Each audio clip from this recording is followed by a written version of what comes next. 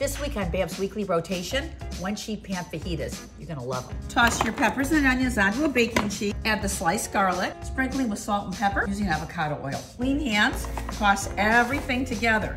Everything needs to be oiled. Spread into an even layer. One and a half pounds of flank steak and cutting it in three equal pieces going with the grain. Just patting it dry. Chili powder, brown sugar, salt, and pepper. Sprinkle both sides of your steak. 475, 10 minutes.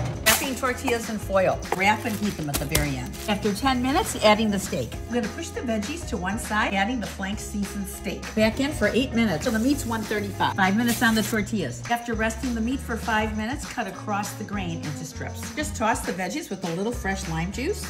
One sheet pan added to your weekly rotation. And it's a delicious meal.